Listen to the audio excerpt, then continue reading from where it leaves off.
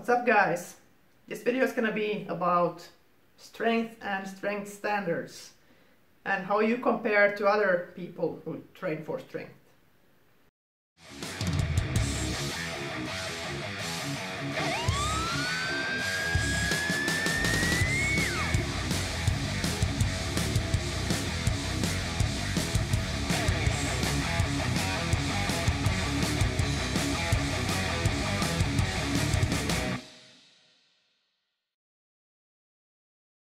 So first out I think that the sport of powerlifting has quite good example of how you can compare your strength to other people in different weight categories.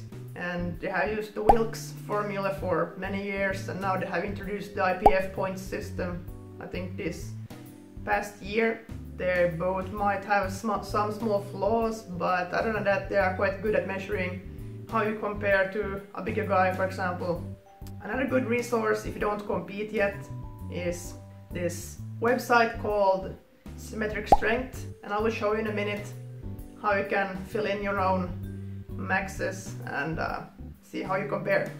But before I go in, dive into that topic, I just want to say that um, when you're estimating maxes, the maxes can of course fluctuate depending on if you're peaked and if you're estimating the maxes. So the best way to find out your max is basically just test it sometime when you have peaked for it. The 1 rep max calculators are quite good as well, but the more reps you do, the less accurate the calculator will become. So if you do like a 10 rep max and estimate the 1 rep max from that, it can differ quite much. Maybe a 3 rep max or 5 rep max I would say are quite a quite good estimate on your 1 rep max. So yeah, so let's go on the internet. Now we're here on the Symmetric Strength website and here you can choose first your unit of measure and your calculations. Just round here the nearest kilogram for the most accurate max. And then you enter the back squat, deadlift, bench, and if you know your overhead press or chin up maxes as well. I don't. And I weigh currently 74 kilos and I'm 27 so let's just for fun enter my recent max 5 rep maxes. So 167.5 and uh, I managed to get 5 reps with that and my poor deadlift oh, I only did 4 even though I had reps in the tank but just leave it at there at that and then my bench was 120 times 5 so let's see how I do and according to these as you see my deadlift is substantially weaker than than my squat. Uh, according to most, to average people, or relative to to other people, my my strength level. And here you can also see, for example, that my 1 rep max is estimated 195 this body weight and better than the average and the deadlift is less and my bench is quite equal. And here's also a little illustration what is weak and strong on your body but I don't think that's too important right there. And here would be my estimated powerlifting total um, and here is maybe this which I was thinking about uh, for my weight, 74 kilo weight class in the powerlifting realm. You can see that I'm just over this exceptional. So that's decent I would say and my deadlift is still just on the advanced level because my estimated one rep max on the squat is 195, deadlift 203 and bench 140. But as you might know, I hit the 205 deadlift in competition, which was fairly easy, so in reality I think I could get 210 kilos, but just put this instead. yeah so now it's a bit less yeah whatever um my deadlift is still um I'm looking for? Sorry. My deadlift is still just on the advanced level as my bench press.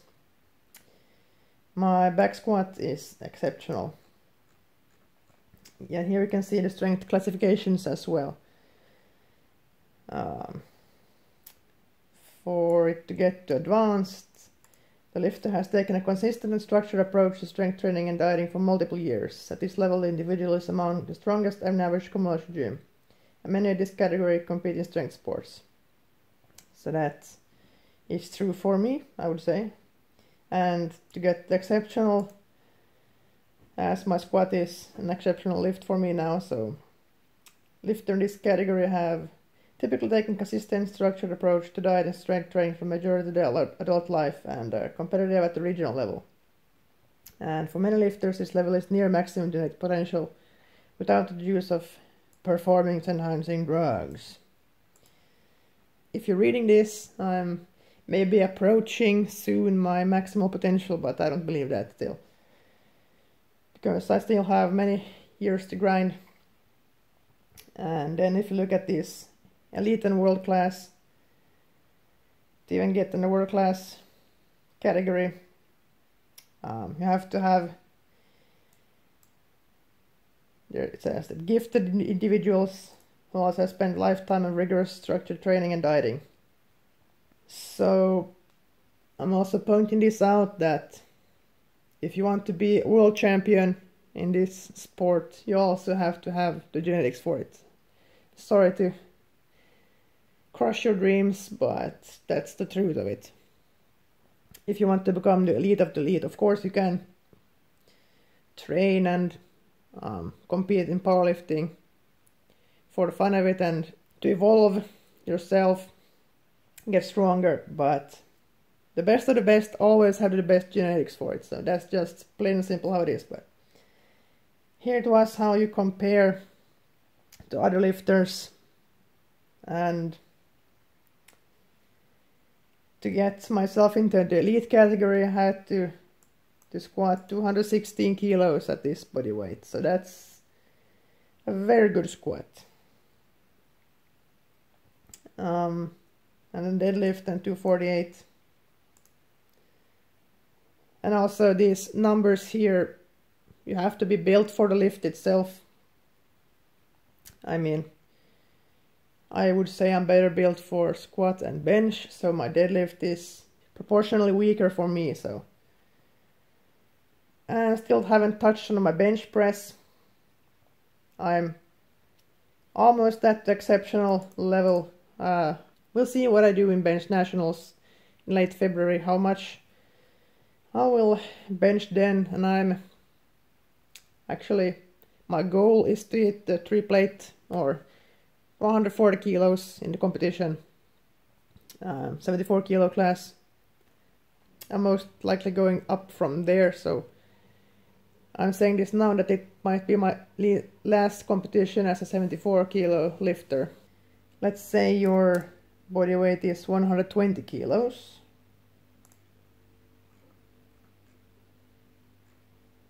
Now just ignore my maxes at this point, but if you weigh 120 kilos,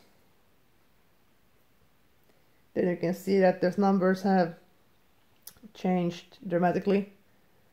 Um, for example, my bench at my body weight was 143 kilo at the exceptional level. Now it has increased to 179. So, so if you didn't really know, the body weight influences your lifting a lot more than you might have believed, but now I'm curious to know if any of you guys has a lift that's considered world class, comment down below in the comment section. And sorry to you guys, I just went with kilos here, so if you're counting in pounds, you have to do the conversion yourself. I'm sorry about that, but other than that, that's my video for today. And until next time, make some gains.